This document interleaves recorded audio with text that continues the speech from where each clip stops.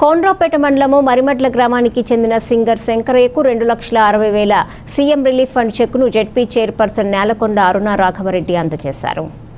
ఈ సందర్భంగా జిల్లా జెడ్పీ చైర్పర్సన్ నేలకొండ అరుణ రాఘవరెడ్డి మాట్లాడుతూ వైద్య ఖర్చుల నిమిత్తం నిరుపేదలకు సీఎం రిలీఫ్ ఫండ్ అండగా ఉంటుందన్నారు.